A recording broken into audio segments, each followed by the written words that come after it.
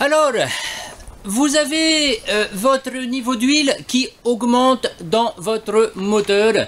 Euh, si vous n'avez pas vu la vidéo précédente, je vous renvoie par ici donc à comment vérifier euh, ces injecteurs.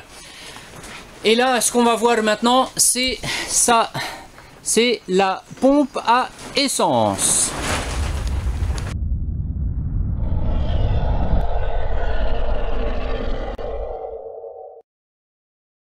Alors oui, notre pompe à essence peut très bien être en cause. On voit ici un petit bout de caoutchouc. Donc c'est qu'on a euh, un joint en fait entre la partie métallique et la partie plastique, c'est-à-dire entre l'huile d'un côté et l'essence de l'autre côté. Donc on peut très bien avoir, euh, si on a ce joint ici qui est endommagé, on peut très bien avoir l'essence qui est poussée à l'intérieur du carter moteur et qui va se mélanger avec l'huile. Donc euh, ben, on va regarder tout ça, le démontage complet de la pompe à essence à savoir que euh, cette pompe à essence Yamaha peut la détailler donc on peut changer juste la membrane entre euh, qui fait le, tampon entre l'huile et l'essence. Ça vous coûte quand même, on va dire, trois fois moins cher qu'une pompe à essence complète. Mais il faut savoir vraiment si c'est ça qui est en cause. Alors, pour ce faire, eh ben, on va la démonter. Pour la démonter, c'est relativement simple, puisqu'on a ici et ici euh, ces deux vis qui nous tiennent accouplés sur le moteur. Ensuite, pour défaire la partie plastique de la partie métal, on a ces euh, trois vis cruciformes qui se trouvent ici. Donc là, euh, rien de vraiment spécial au niveau du démontage de cette pompe à essence, sauf que entre le carter moteur et le carter de la pompe, on a euh, un joint torique, on a un O-ring qu'il faut bien faire attention de ne pas perdre, surtout de ne pas faire tomber à l'intérieur du carter moteur et puis aussi vérifier son intégrité. Allez, euh, démontage de ça et puis on passe sur l'établi. Alors, suivant les moteurs, on a différents modèles. Ici, on a un euh, carré, enfin, euh, oui, à peu près carré, qui vient d'un 60 chevaux. Et puis là, donc j'ai ma pompe en question qui est sur notre 90 chevaux qui est ronde. sur les deux, euh, le système est exactement identique. On a un poussoir qui vient actionner la membrane. Hop, et là, c'est pareil de ce côté-là. Ça vient actionner la membrane et ainsi pomper le fuel ou l'essence. Donc là, on va regarder ça sur donc celle en question, la ronde. J'ai ma pompe qui est sortie du moteur. Là, euh, tout bêtement, on a euh, les trois vis cruciformes à défaire. Une fois notre couvercle enlevé, on a la petite membrane qui va faire l'étanchéité avec ce couvercle. Donc là, c'est étanchéité à l'air, entre, l'essence et l'air. Donc ça, euh, si jamais on a une pompe à essence qui ne fonctionne pas, qui, euh, qui a du mal à pomper de l'essence, ou alors qui fuit à partir du couvercle, c'est cette membrane-là qu'il faut changer. Là, on va continuer notre démontage un petit peu plus loin. Alors, un petit point à surveiller quand même, c'est que là, nos vis euh, cruciformes, elles sont avec de l'autre côté des écrous qui sont pas prisonniers et donc qui sont euh, maintenus derrière là. Donc faire attention aussi à pas perdre les écrous en sortant les vis.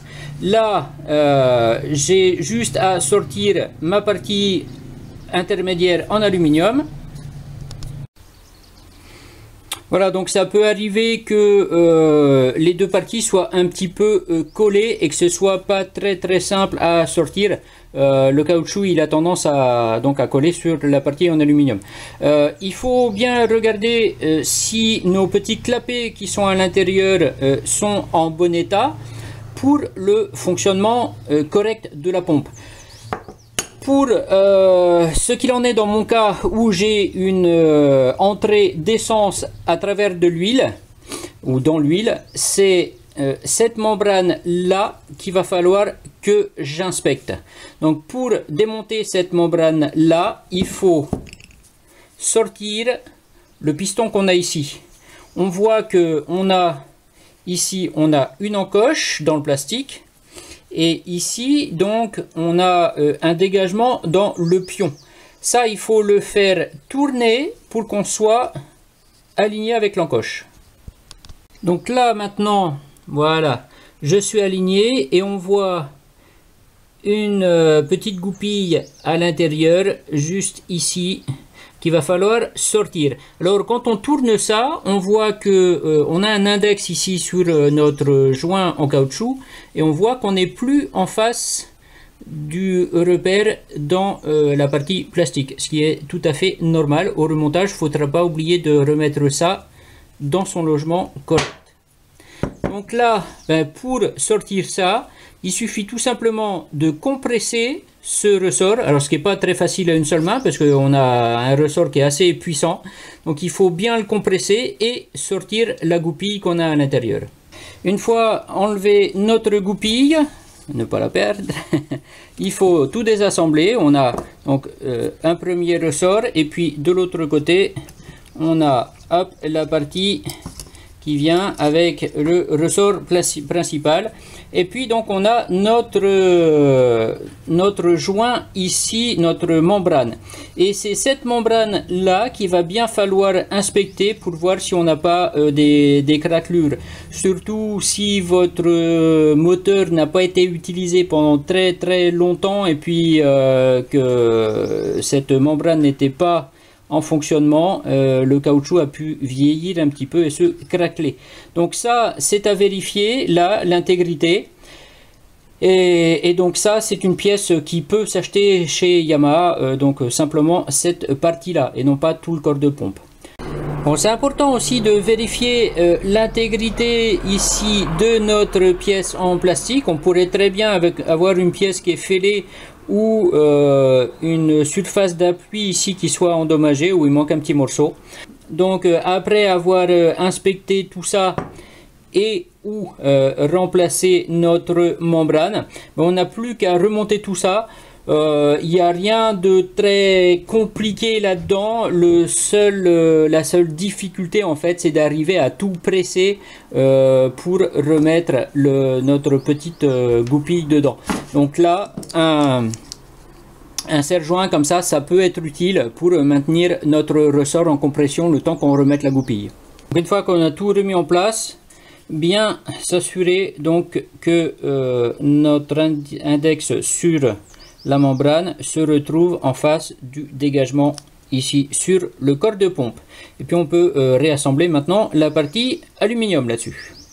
Donc quand on remet en place, surtout ne pas oublier de remettre le o-ring qui se trouve ici et qu'il soit bien dans son logement au niveau du carter moteur. Ensuite, nos deux petites vis et c'est fini. Voilà, c'est remis en place.